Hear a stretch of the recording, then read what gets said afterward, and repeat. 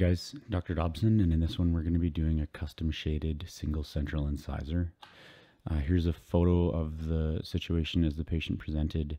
There was likely a filling on the 2-1 just as, as there is on the 1-1 that got some recurrent decay and the filling debonded, leaving an unsightly situation. It looks like it's going to be a bit of a deeper lesion, so we're going to take a PA. And on the PA we see that there is no periapical pathology, uh, we do see a nostril that some might confuse as a lesion. Uh, we are going to pulp test the tooth. Uh, I'll take a shade tab. Usually I don't use them because I will mill multiple shades and pick the closest one. Going to pulp test here. Uh, I like to use EPT over cold, but I'll often do both because false positives and false negatives are commonplace with pulp vitality testing.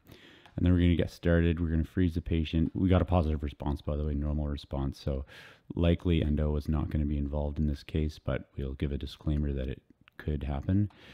Going to freeze the tooth. This is a painful area to freeze, unfortunately, for the patient, but uh, needs to be done. Give a rinse and then get going by uh, adding some flowable composite to the missing tooth area, curing it with the Valo Grand before taking our preliminary impression.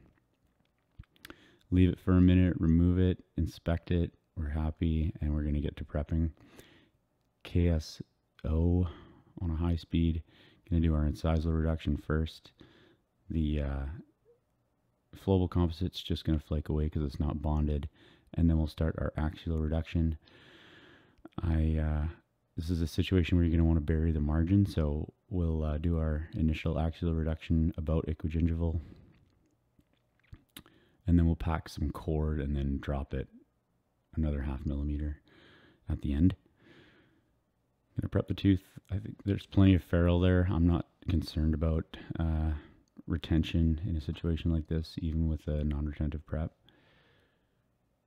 Gonna prep the lingual axial area, and then we're gonna remove the tooth decay with a small carbide on a slow speed until we're back on hard tooth tissue round it off with a diamond. And then we have a space that we're going to need to replace with a core material. No secret I like Equia Forte so we're going to use that. Etch five seconds rinse dry and then apply the Equia Forte material overfilling packing it in and then waiting five minutes.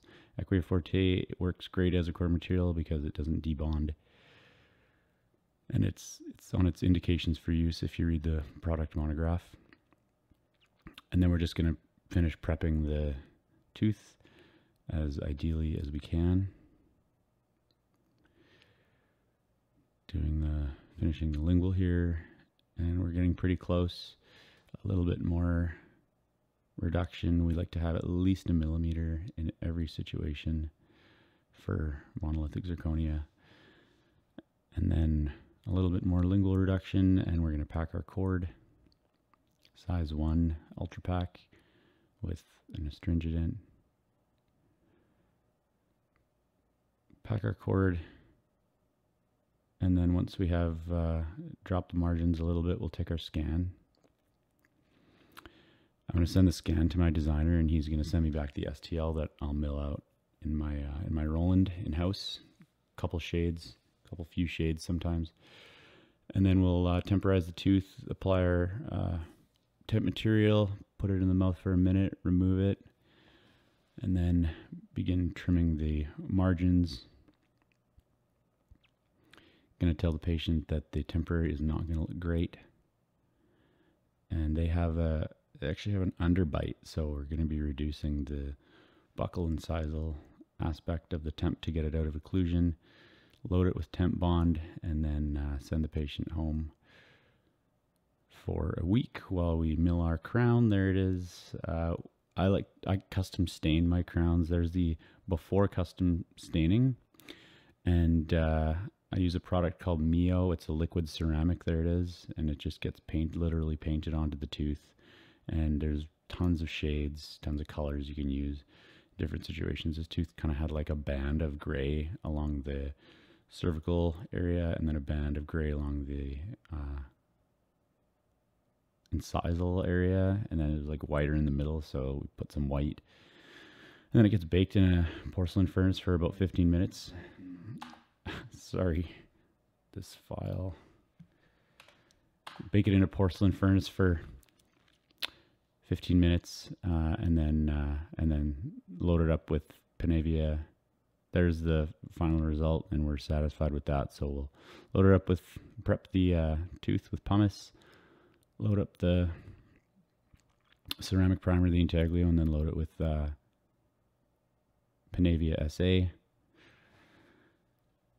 And then that's that's pretty much that one. I want to give a shout out to uh, the video editor that who did this. His name is Dr. Milton Vega from California, and he does a great job with these things.